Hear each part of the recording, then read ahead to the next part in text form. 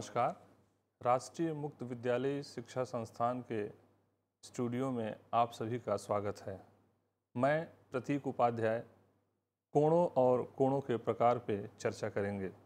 हमारे आसपास की भौतिक जगत में एवं संपूर्ण ब्रह्मांड में जो कुछ वस्तुएँ हैं, वो किसी न किसी आकृति के रूप में हैं। गणित की वह शाखा जिसमें आकृतियों का अध्ययन किया जाता है, ज्यामिति कहलाती है। ज्यामिति शब्द अंग्रेज़ी में जियोमेट्री का हिंदी रूपांतरण है। जियोमेट्री यूनानी भाषा के शब्द जियोमेट्रन का अंग्रेज़ी समानार्थी है। जियोमेट्रन दो शब्दों से मिलकर बना है, जियो और मेट्रन। जियो का अर्थ है भूमि एवं मेट्रन का अर्थ है मापना। कोणों एवं कोणों के प्रकार को जानने से पहले हम बिंदु के बारे में जानेंगे। बिंदु लगभग न दिखाई पड़ने वाली एक ज्यामितीय आकृति है। सामान्यतया बिंदु विमा विहीन होती है। बिंदु से हमें एक स्थिति अथवा अवस्थित निर्धारण का बोध होता है। अगर हम बिंदुओं के उदाहरण के बारे में सोचना चाहें या देखना चाहें तो प्रकार का एक सिरा अगर इसे कागज़ के एक टुकड़े पर रखा जाए तो बिंदु की आकृति प्राप्त होती है। पेंसिल के नुकीले सिरे को भी पेपर पे रखने से जो आकृति प्राप्त होगी, उसे हम बिंदु कह सकते हैं। उसी तरह से सुई का नुकीला सिरा भी बिंदु बनाता है। यदि हम किसी कागज़ पर, मान लीजिए कि तीन बिंदु को अंकित करें तो इनमें भेद बताने की निश्चित रूप से आवश्यकता पड़ेगी। इसके लिए हमें अंग्रेज़ी के बड़े अक्षर ए बी सी इत्यादि से व्यक्त करने की आवश्यकता होगी। जैसा कि आप देख सकते हैं, इन बिंदुओं को बिंदु ए बिंदु बी बिंदु सी से व्यक्त किया जा सकता है एवं पढ़ा जा सकता है। निसंदेह बिंदु बहुत छोटे होने चाहिए। रेखाखंड, दो बिंदुओं को मिलाने से प्राप्त होने वाली ज्यामितीय आकृति को रेखाखंड कहते हैं। बिंदु P और Q दो बिंदु हैं। इनको मिलाने से जो ज्यामितीय आकृति प्राप्त हुई है, चित्र एक में, उन्हें हम रेखाखंड, उसे हम रेखाखंड कह सकते हैं। P और Q बिंदुओं को कई तरीके से मिलाया जा सकता है, लेकिन जो P और Q के बीच की न्यूनतम दूरी को व्यक्त करे, वही रेखाखंड है। रेखाखंड के बाद रेखा क्या होती है? रेखा, किसी रेखाखंड के दोनों बिंदुओं को अपनी अपनी दिशाओं में अपरिमित रूप से बढ़ाने पर प्राप्त ज्यामिति आकृति होती है। जैसे कि सरल रेखा, प्रतिच्छेदी रेखाएँ, समानांतर रेखाएँ, किरण इत्यादि। चित्र में ए बी एक रेखा है, जिसे ए के सिरे पर अपरिमित रूप से बढ़ाया जा सकता है। और बी के सिरे से भी अपरिमित रूप से बढ़ाया जा सकता है। किरण, रेखा का ऐसा भाग जो एक बिंदु से प्रारंभ होकर एक दिशा में बिना किसी अंत के आगे बढ़ता है, किरण कहलाता है।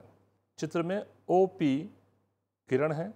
आप देख सकते हैं कि बिंदु P को आगे बढ़ाया जा सकता है और ये अपरिमित रूप से आगे बढ़ सकता है। किरण में बिंदु P की तरफ़ से बढ़ाने पर, एक साइड से बढ़ाने पर हमें एक रेखा जैसा ही चित्र प्राप्त होता है, लेकिन रेखा दोनों तरफ़ बढ़ाई जा सकती है। रेखाखंड को दोनों तरफ़ बढ़ा के रेखा प्राप्त कर सकते हैं, जबकि रेखाखंड को सिर्फ़ अगर एक तरफ़ एक सिरे पर बढ़ाया जाए तो हमें किरण प्राप्त होगी।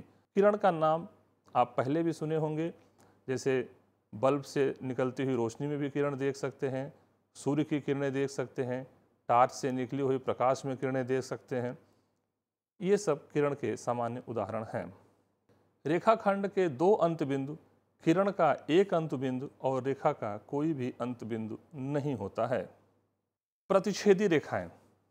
दो या दो से अधिक रेखाएँ जो एक उभयनिष्ठ बिंदु से होकर गुजरती हैं, उन्हें हम प्रतिच्छेदी रेखाएँ कहते हैं। चित्र में एक रेखा L1 है, दूसरी रेखा L2 है। दोनों रेखाएँ एक बिंदु पर एक दूसरे से होके गुजरती हैं, एक बिंदु पे एक दूसरे को काटती हैं, उसे बिंदु P कहेंगे हम, और यह बिंदु प्रतिषेधी बिंदु कहलाएगा।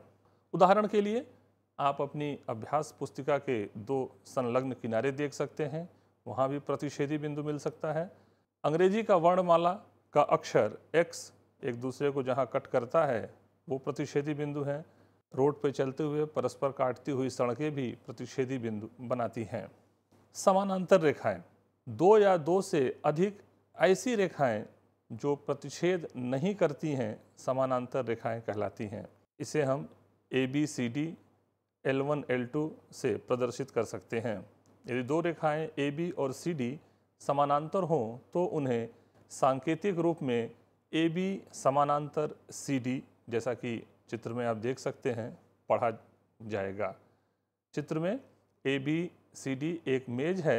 आप इसमें भी समानांतर रेखाएँ देख सकते हैं। रेखा A B Rekha C D के समानांतर है। रेखा ए एच रेखा डी ई के समानांतर है। रेखा सी एफ़ रेखा बी जी के समानांतर है। तिरक रेखा।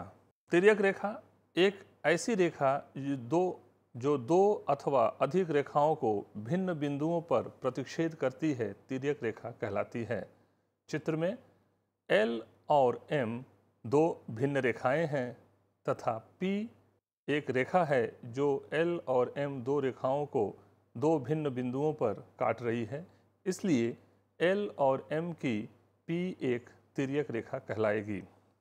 जबकि चित्र दो में एल एम और पी रेखाएँ तो हैं, लेकिन वो एक ही बिंदु से होकर गुजर रही हैं, इसलिए यहाँ पर तिरक रेखा नहीं है।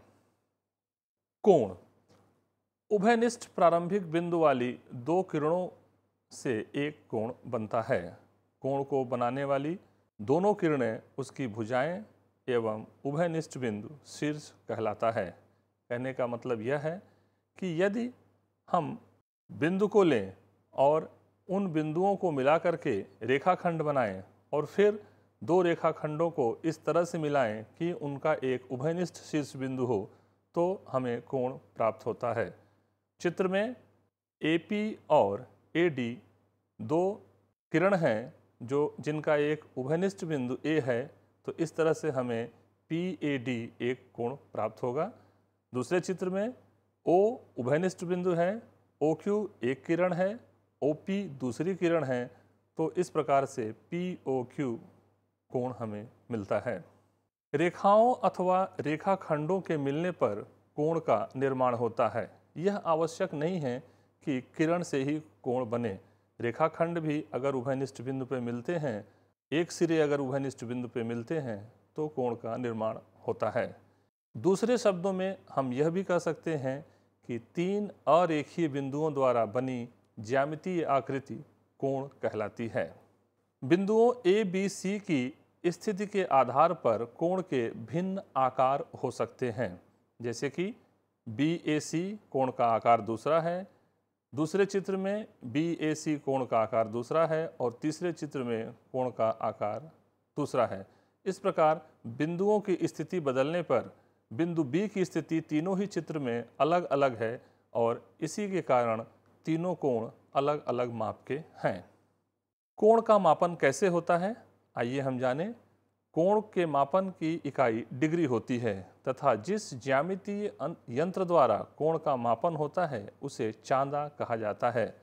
चित्र में 40 अंश के कोण को और 135 अंश के कोण को दर्शाया गया है। कोण के मापन के लिए हमें घड़ी की सुई की विपरीत दिशा में चलना होता है। कोण के विभिन्न प्रकार? कोण के कई प्रकार हो सकते हैं। पहला, न्यून कोण। ऐसा कोण जो ज़ीरो अंश से अधिक का हो और 90 अंश से कम का हो, उसे हम न्यून कोण कहते हैं। चित्र ए में सभी कोण न्यून कोण हैं, क्योंकि उनकी माप शून्य से 90 अंश के बीच की है। समकोण। 90 अंश के कोण को समकोण कहा जाता है। चित्र बी में तीन समकोण दिखाए गए हैं। सभी का माप 90 अंश है, अतः ये समकोण है। अधिक कोण। 90 अंश से अधिक और 180 अंश से कम के कोण को अधिक कोण कहते हैं। चित्र सी में अधिक कोण दर्शाए गए हैं, इन्हें आप देख सकते हैं। पूरक कोण। जब दो कोणों की माप का योग 90 अंश हो तो उन दोनों कोणों को एक दूसरे का पूरक कोण कहा जाता है। चित्र एक और दो में एक कोण तीस अंश का है, दूसरा कोण साठ अंश का है।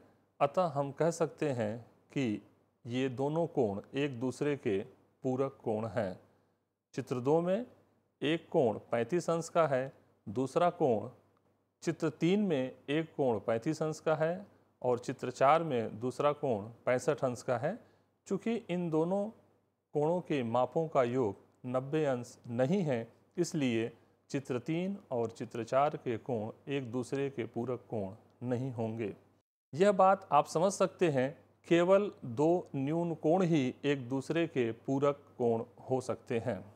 संपूरक कोण, जब दो कोणों की मापों का योग 180 अंश होता है तो उन दोनों कोणों को एक दूसरे का संपूरक कोण कहा जाता है। चित्र एक में पहला कोण 60 अंश का है और दूसरा कोण 120 अंश का है, इसलिए ये दोनों एक दूसरे के संपूरक कोण कहे जाएँगे। इसी प्रकार चित्र दो में अड़सठ अंश और 112 अंश का कोण है, चित्र तीन में 100 अंश और 80 अंश का कोण है चित्र चार में 35 135 अंश और 45 अंश के कोण हैं। संपूरक कोण होने के लिए दोनों कोण समकोण होंगे अथवा एक न्यून कोण एवं एक अधिक कोण होगा। समझ सकते हैं आप? चूँकि दो कोणों के माप का योग 180 अंश होना है, ऐसी स्थिति में दोनों कोण या तो समकोण होंगे अथवा एक न्यून कोण एवं एक अधिक कोण होगा। दो न्यून कोण कभी एक दूसरे के संपूरक कोण नहीं हो सकते हैं, क्योंकि न्यून कोण सदैव ही 90 अंश से कम का कोण होगा और ऐसी स्थिति में दो कोणों की माप का योग 180 अंश कभी नहीं हो सकता। इसलिए दो न्यून कोण एक दूसरे के संपूरक कोण कभी नहीं हो सकते। इसी प्रकार दो अधिक कोण कभी एक दूसरे के संपूरक कोण नहीं हो सकते, क्योंकि अधिक कोण 90 अंश से अधिक और 180 अंश से कम के कोण को अधिक कोण कहते हैं। जब कोण 90 अंश से अधिक हुआ होगा, दूसरा कोण भी 90 अंश से अधिक का होगा और 180 अंश से कम का होगा तो कभी भी दो कोणों का योग 180 अंश नहीं होगा। आसन्न कोण। कोणों का ऐसा युग्म जिनमें शीर्ष एवं एक भुजा उभयनिष्ठ हो, आसन्न कोण कहे जाते हैं। जब हम पुस्तक खोलते हैं तो हमें चित्र जैसी आकृति दिखाई देती है। ए और बी में हम कोणों का एक ऐसा युग्म पाते हैं, जिसमें एक कोण दूसरे के साथ संलग्न है। अथवा हम किसी कार के स्टीयरिंग व्हील को जब देखते हैं तो व्हील के केंद्र बिंदु पर तीन कोण पाए जाते हैं, जिनमें से प्रत्येक कोण एक दूसरे के साथ संलग्न होते हैं। ऐसे कोणों को आसन्न कोण कहा जाता है। लेकिन आसन्न कोणों में कोई भी उभयनिष्ठ बिंदु नहीं होता है। दो आसन्न कोण एक दूसरे के संपूरक एवं पूरक हो सकते हैं। चित्र एक में दो कोण हैं, कोण एक एवं कोण दो। दोनों में एक उभयनिष्ठ रेखा है, जबकि कोई भी उभयनिष्ठ बिंदु नहीं है, अतः ये आसन्न कोण हैं। उसी प्रकार चित्र दो में भी कोण एक एवं कोण दो आसन्न कोण हैं। चित्र तीन में, चूँकि उभयनिष्ठ बिंदु नहीं है, दोनों के शीर्ष अलग अलग हैं, इसलिए ये आसन्न कोण नहीं हैं। उसी प्रकार से चित्र चार में, शीर्ष बिंदु तो उभयनिष्ठ है, लेकिन दोनों कोणों के मध्य एक दूसरा उभयनिष्ठ बिंदु भी है, जबकि आसन्न कोणों में उभयनिष्ठ बिंदु नहीं होता है, इसलिए चित्र चार के कोण आसन्न कोण नहीं हैं। आप देख सकते हैं, चित्र पाँच के कोण आसन्न कोण हैं। रैखिक युग्म ऐसे आसन्न कोणों का युग्म होता है, जिनमें गैर उभयनिष्ठ भुजाएँ विपरीत किरणें होती हैं। रैखिक युग्म, कोण एक एवं कोण दो को आप देख सकते हैं, जो गैर उभयनिष्ठ भुजा है, वो एक दूसरे के विपरीत है, जबकि चित्र, दूसरे चित्र में जो रैखिक युग्म नहीं है, उसमें गैर उभयनिष्ठ भुजा एक दूसरे के विपरीत नहीं है इसलिए इन्हें रैखिक युग्म नहीं कहेंगे। दैनिक जीवन के उदाहरण में, सब्ज़ी काटने वाला पट, काटने वाले ब्लेड पट के साथ कोणों का एक रैखिक युग्म बनाता है, या पेन स्टैंड स्टैंड के साथ कोणों का एक रैखिक युग्म बनाता है। रैखिक युग्म के कोण संपूरक कोण होते हैं। चित्र में आप देख सकते हैं रैखिक युग्म के कोण संपूरक होंगे लेकिन दोनों रेखाएँ एक दूसरे के विपरीत होनी चाहिए। संपूरक कोणों का युग्म रैखिक युग्म तभी बनाता है जब प्रत्येक कोण को दूसरे के आसन्न रखा जाए। चित्र में एक कोण 140 अंश है, दूसरा कोण 40 अंश का है। अगर इन्हें एक दूसरे के आसन रखा जाएगा तो ये रैखिक युग्म बना सकते हैं। दो अधिक कोण रैखिक युग्म नहीं बना सकते। क्योंकि उनके कोणों का योग 180 अंश से अधिक हो जाएगा और वो रैखिक युग्म नहीं बन पाएगा। दो न्यून कोण रैखिक युग्म नहीं बना सकते हैं। ऊर्ध्वाधर सम्मुख कोण। दो रेखाओं के प्रतिच्छेद से परस्पर विपरीत दिशाओं में बने कोण ऊर्ध्वाधर सम्मुख कोण कहे जाते हैं। चित्र में कोण एक, कोण तीन का ऊर्ध्वाधर सम्मुख कोण है। जबकि कोण दो, कोण चार का ऊर्ध्वाधर सम्मुख कोण है।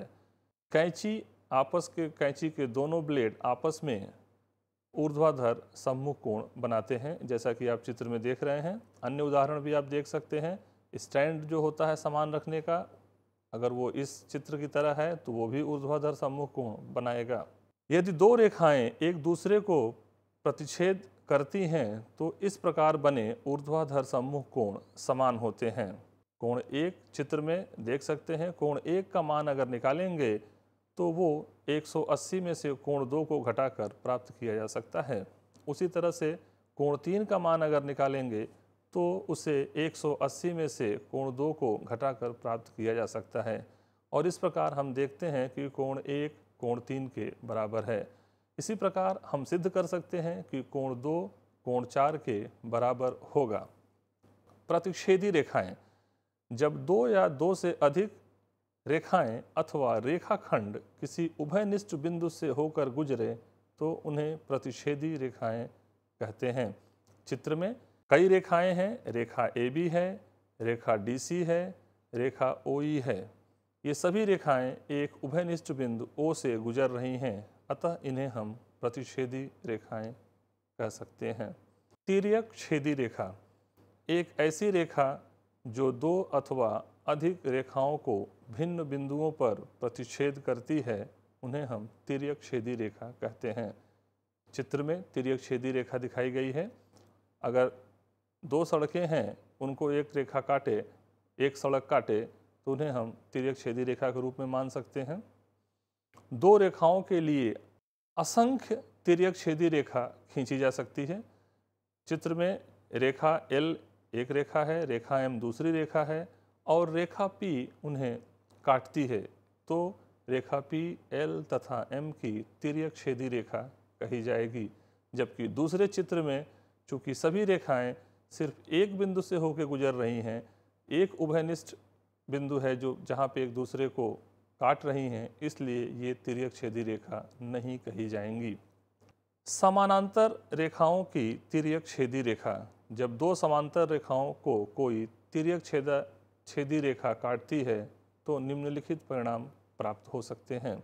जैसा कि चित्र में हम देख रहे हैं, पहला, संगत कोणों का प्रत्येक युग्म समान होते हैं। एकांतर कोणों के प्रत्येक युग्म समान होते हैं। तिर्यक छेदी रेखा के एक ही तरफ़ बने अंत कोणों का प्रत्येक युग्म संपूरक होता है। तिर्यक छेदी रेखा द्वारा निर्मित कोण। चित्र में एल तथा एम दो रेखाएँ हैं और रेखा पी उनको दो भिन्न बिंदुओं पर काट रही है तो इस प्रकार एल तथा एम की पी तिर्यक छेदी रेखा कहलाएगी। आइए हम देखते हैं कि तिर्यक छेदी रेखा द्वारा कौन कौन सी स्थितियाँ प्राप्त होती हैं। तिर्यक छेदी रेखा द्वारा कुल कितने अंत कोण प्राप्त हो सकते हैं? चित्र में कोण तीन, कोण चार, कोण पाँच और कोण छः तिर्यक छेदी रेखा के अंत कोण कहे जाएँगे, जबकि कोण एक, कोण दो, कोण सात एवं कोण आठ इनके बाह्य कोण कहे जाएँगे। तिरक छेदी रेखा जब किन्हीं दो रेखाओं काटती है तो संगत कोणों के युग्म भी हमें प्राप्त होते हैं। चित्र में कोण एक और कोण पाँच कोण दो और कोण छः, कोण तीन और कोण सात, तथा कोण चार और कोण आठ संगत कोणों के युग्म हैं। एकांतर अंत कोणों के युग्म को हम देखेंगे। कोण तीन और कोण छः तथा कोण चार और कोण पाँच एकांतर कोणों के अंत युग्म हैं। तिरक छेदी रेखा के एक ही तरफ़ बने अंत कोणों का युग्म कोण तीन और कोण पाँच तथा कोण चार और कोण छः कहलाएगा। समांतर, एकांतर बाह्य कोणों के युग्म को हम इस प्रकार भी देख सकते हैं। कोण एक और कोण आठ तथा कोण दो और कोण सात एकांतर बाह्य कोणों का युग्म है। संगत कोण और एकांतर कोण को हम अंग्रेज़ी के एफ़ तथा जेड आकार के रूप में भी समझ सकते हैं। जो संगत कोण होते हैं, वो अंग्रेज़ी के एफ़ आकार में पाए जाते हैं, जबकि एकांतर कोण अंग्रेज़ी के जेड आकार में पाए जाते हैं। तो इस प्रकार हमने आज कोणों और कोणों के विभिन्न प्रकार के बारे में अध्ययन किया। बिंदु क्या होती है? बिंदु से कोण किस प्रकार बनते हैं? रेखा क्या होता है? रेखाखंड क्या होता है? कोणों के विभिन्न प्रकार, जैसे कि न्यून कोण, अधिक कोण, सम कोण, क्या होते हैं? और तिरक छेदी रेखा द्वारा बने कोण कौन कौन से होते हैं? एकांतर कोण क्या होते हैं? संगत कोण क्या होते हैं? इनके बारे में जाना। धन्यवाद।